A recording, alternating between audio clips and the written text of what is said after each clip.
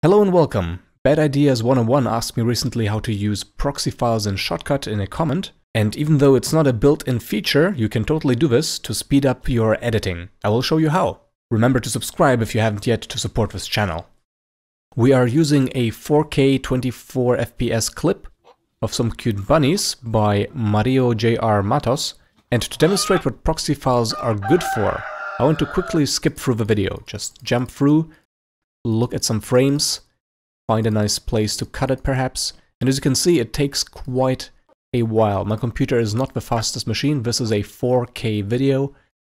This demands a little better processing power than I have to really quickly just skip through it. So I have to wait about one second for each frame to appear, sometimes maybe half a second. But if I use a smaller video, the same video but rendered at a smaller resolution, then I can skip through it really quickly. I can even just drag it through. Just look at this, I can play it backwards, play it at faster speed if I want. That's how fast it is on my machine all of a sudden, simply by reducing the resolution of this video. For example, if I want to find uh, the spot, the moment where the bunny raises his head, here. Easy. But if I want to do this in the original video, I have to wait, wait. Oh, okay, too far, too far. Wait. You get my point. You get my point. If this, if you have a much longer video, this is only 22 seconds, this takes a lot of time and adds a lot of frustration. A proxy file is the same video with a smaller resolution, and because the computer can show a small image much faster than a big one, this can be used to speed up editing. So first up, we need to create this small version of our original video. Let me just close Shotcut and bring up our original file. This is a 4K video. We're going to start Shotcut. And the first thing I'm going to do is just drag the video in, show the timeline, drag the video into the timeline. And if we look at properties, where is that? Properties here. We can see its uh, resolution over here. Don't be fooled, this number for some reason is incorrect. We will get back to this later.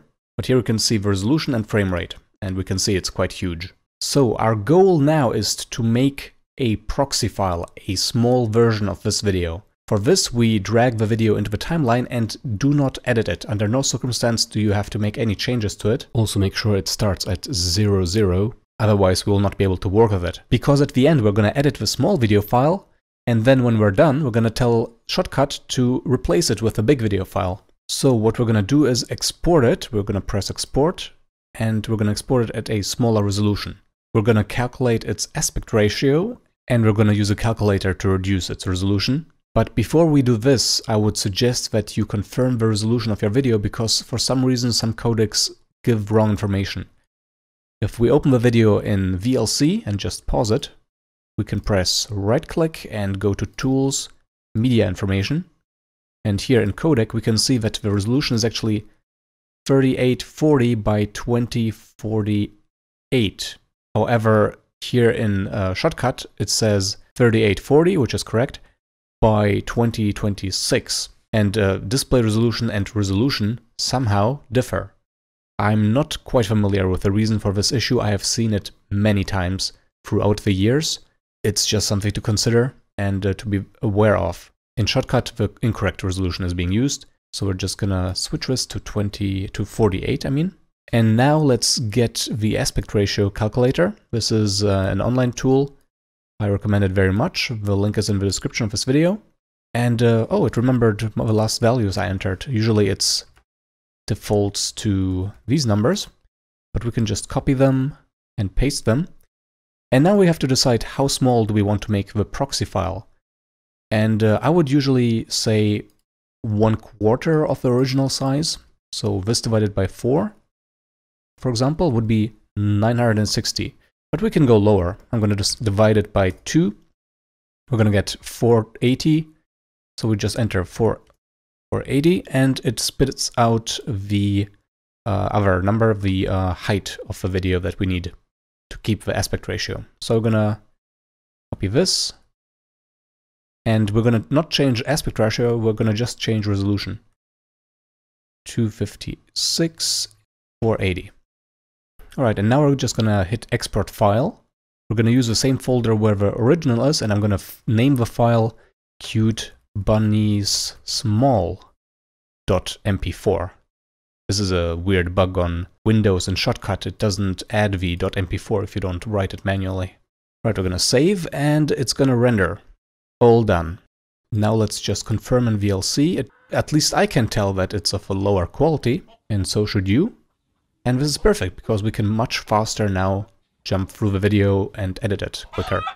Make sure that you treat these numbers right. You can start again if it doesn't work. If it doesn't work per se, you can use Handbrake, a wonderful open source tool for re-rendering videos, converting video files. You can just drag it in and immediately you can change the resolution. Unfortunately, again, this is the incorrect resolution here. So here you would go ahead and write 480 by, yeah, keep aspect ratio, that's really, huh. So we would write 256. And uh, I think you can simply export it then. Just confirm that the frame rate, yeah, this is the important. Make sure the frame rate is identical.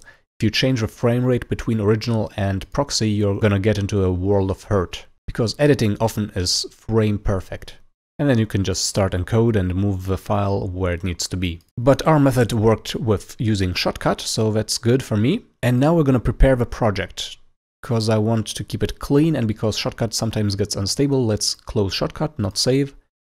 And just start it afresh. These tools we don't need anymore. Alright, here we go. Just gonna get rid of some windows.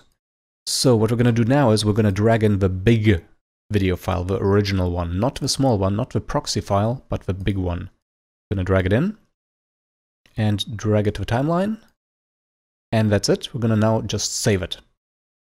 Do not uh, export it, do not export video. I want you to actually save it. We're to use the same folder, and this one we're to call Bunny Original. Just gonna hit save, make sure it has v.mlt ending. And now we're just gonna go ahead and close it again. Here it is. And remember, it used the cute bunny's big video. What we're gonna do now is we're gonna trick Shotcut into believing that it lost track of the file. We're gonna rename this file to cute bunny's big gone. And what we're gonna do now is we're gonna start Shotcut yet again. And we're gonna tell it to open the file the project file, not the video file, bunnyoriginal.mlt.